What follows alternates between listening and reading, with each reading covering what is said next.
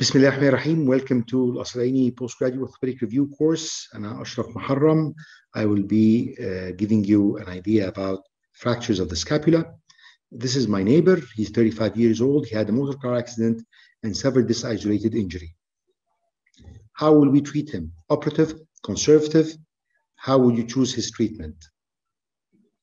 I hope by the end of this lecture, I'll help you evaluate scapular fractures, classify them, and, and identify the indications of surgical management, as well as the operative approaches, and know about the outcome of management of these cases. It's rarely broken, this the scapula. It's less than 1% of all broken bones. وده متوقع بصراحة. It's thin, elastic, freely mobile, covered with a lot of muscles, and it lies on the thoracic cage, which has a lot of malleability as well. It, it represents 3 to 5% of all fractures of the shoulder girdle, and it is usually part of a high energy trauma. 90% of these patients have associated injuries. The, the, the mechanism of injury is usually a direct blow, although indirect blows can happen usually through falling an outstretched hand and the humeral head hits the glenoid to fracture it or cause a fracture dislocation of the shoulder joint. However, direct trauma with high energy is the most common mechanism of injury and is associated with, with other injuries in 70 to 100% of patients, depending on which studies. What are the common associations? Well, rib fractures and skull fractures are the most common, followed by spine injuries, which are about 16% as well. Cerebral hematomas, contusions, neurological injuries, hemopneumothorax, pulmonary contusions, and subdural injuries are also common in these patients. So clinical examination includes suspicion, then inspection, cervical spine and thoracic spine eh, examination, thoracic auscultation evaluation, neurological and vascular evaluation, as well as looking for associated injuries we mentioned. What is the radiological examination? Standard is an AP and lateral scapular view, or called the Y view. This is uh, both are in 45 degrees uh, parallel and perpendicular to the axis of uh, the, the, the, the, the, thorax, which is 45 degrees already to the scapula. We rarely can use the axillary notch view because it is quite difficult to achieve this amount of abduction in fractured patients. CT scans with 3D reconstructions are standard procedures that help evaluate the situation. Chest x-rays are a must as well. You have to look at the cost of the, the, the lung, the costophrenic angle has to be empty, and uh, look for pulmonary contusions or hemopneumothorax in a chest x-ray. So traditionally, these fractures are treated non-operatively. And over 90% of scapular fractures are non or minimally spaced and do well with conservative treatment, and the results are usually quite impressive. However, more and more studies document the residual symptoms as well as advantage of after treatment in many injuries. As um, about 30 years ago, Nordqvist has published a paper about Uh, 48 patients, 20% of which developed a malunion of the scapula and, and most of which had residual symptoms in the form of pain, this functional deficit, decreased range of motion, and shoulder imbalance.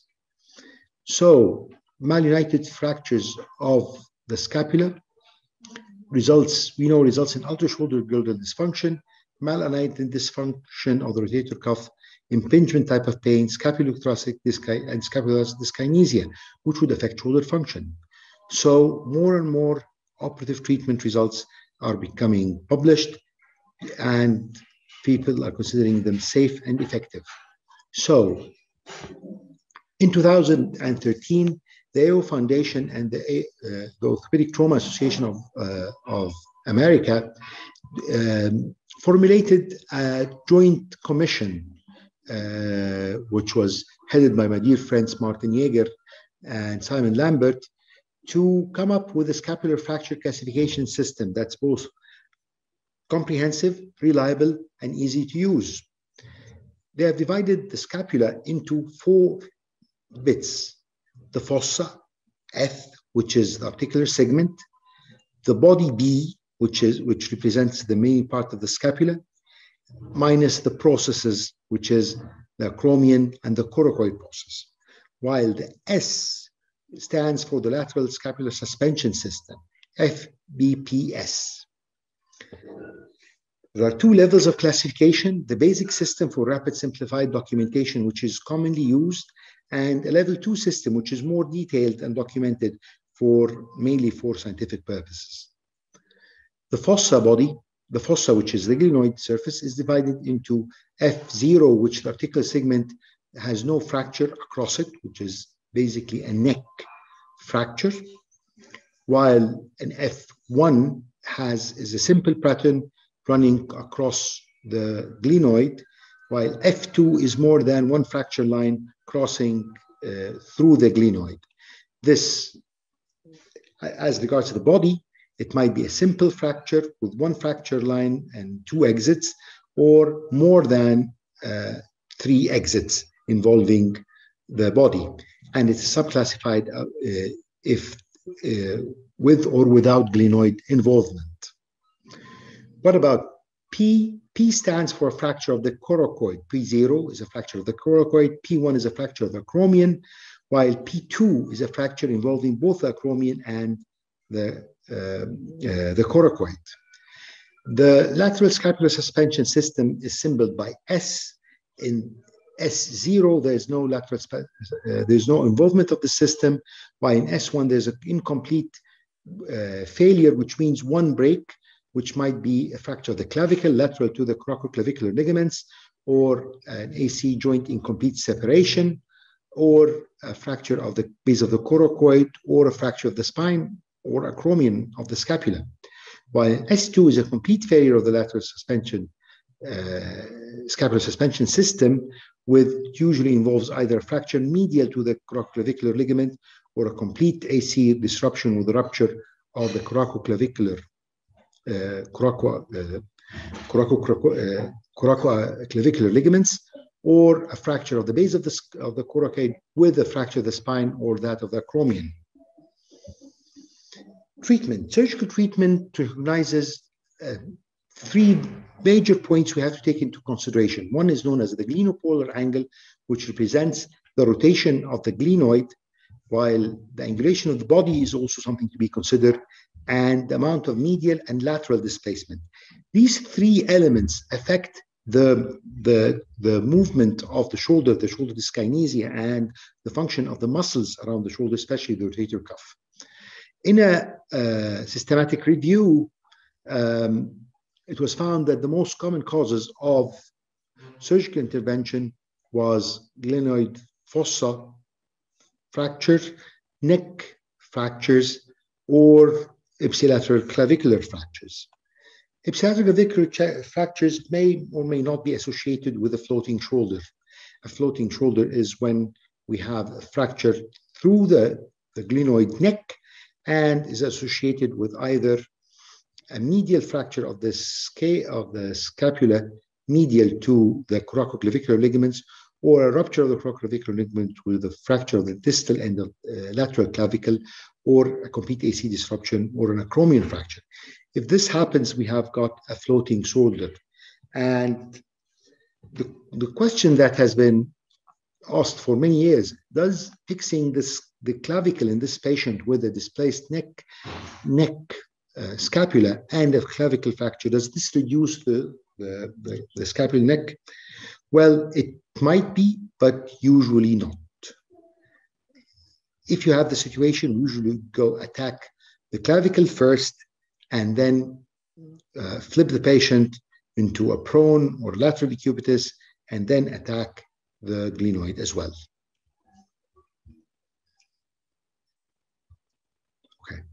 Intraarticular fractures of the glenoid represent 10% of the scapular fractures. 90% of those are undisplaced, while the 10 displaced ones, 10% are displaced and require surgical treatment uh, classification describes uh, five types of glenoid fractures. If there's an articular step off of more than two to five millimeters or shoulder instability, the, this fracture should be fixed. While glenoid neck fractures are most commonly managed conservatively unless there are medialization of the glenoid uh, or rotation and, uh, of the glenoid through the glenopolar angle. Medialization of the glenoid leads to the scoping, shortening, and, mus- and, and disruption and dysfunction of the rotator cuff. This displacement was found was measured by the lateral border offset, and if it was it is more than 10 to 20 millimeters, we consider this as disruptive to the uh, to the rotator cuff function and shoulder function. While the glenopolar angle represents the line between the most cranial point of the glenoid and the tip of the scapula and the angle of the glenoid, it's usually between 30 and 45 degrees. In if it's more if it's less than 20 degrees, usually results are not that good, while good and excellent results are usually less than 18 uh, uh, in, in angles more than 20 degrees. So many studies have correlated poor outcome with glenopolar angle less than 20 degrees. Restoration of the glenopolar angle is important goal for the surgical management of fractures of gleno of the of the uh, body of the scapula. Why about extra-articular angulation? More than 30 to 45 degrees can result in uh, dysfunction of the shoulder muscles and scapular dyskinesia. So how do you treat that? Either ventral approach, deltopectoral approach, not commonly used except in fractures of the anterior rim of the glenoid, the coracoid fracture, or acromion fractures, while posterior approach is most commonly used for glenoid neck, glenoid neck and corpus fractures. In another systematic, uh, in this, the same systematic review, we found that 80% almost are managed through a posterior approach. Posterior approach are two types, either classical Judet approach or a Brodsky approach. The, uh, this number one incision here represents the classical Judet approach, while the Brodsky approach is, is presented by the line uh, entitled number two. In the Judet view, we get to expose the, bo the body, the neck, and the glenoid itself. We go parallel to the acromion, detach part of the deltoid, although this is uh, now not recommended at all. And uh, we elevate the infraspinatus off the body of the glenoid. We leave the infraspinatus to hang on the suprascapular nerve and vessels. You can see them here. This is the glenoid uh, uh, uh, notch, and this is the infraspinatus, and this is the, the neck of the glenoid itself. So part of the deltoid here is elevated. You've got the infraspinatus. You pick up the space between the infraspinatus and the teres minor. It's usually uh, difficult to pick up this immediately, but the more you go uh, uh, uh, in a lateral direction, you'll be able to identify them. And one of the good tricks is uh, to lower the, the, the, um, the, the diathermy uh, to one. And if you touch the infraspinatus, it will contract independently of the teres minor, and you can see clearly the plane between the two muscles.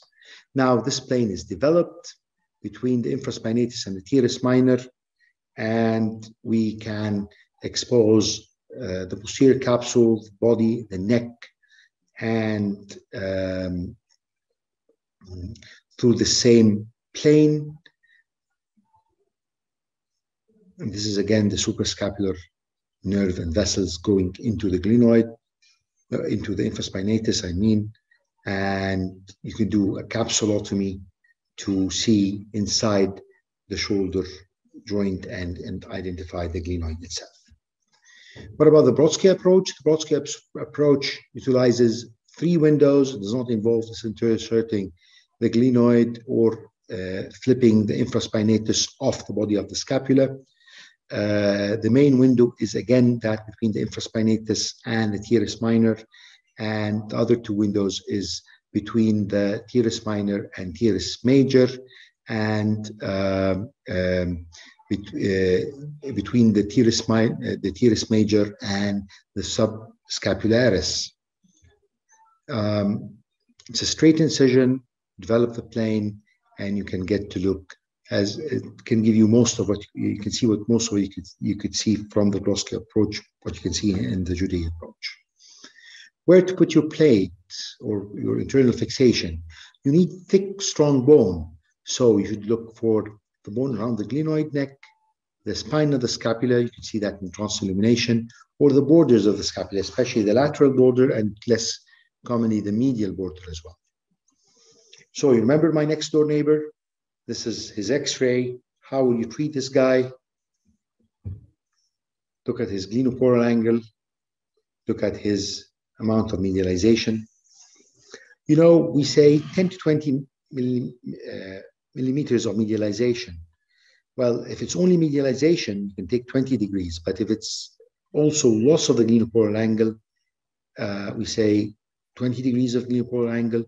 So if there's 10 millimeters of medialization and say uh, a glenopolar angle of less than 20, this is an indication of surgery.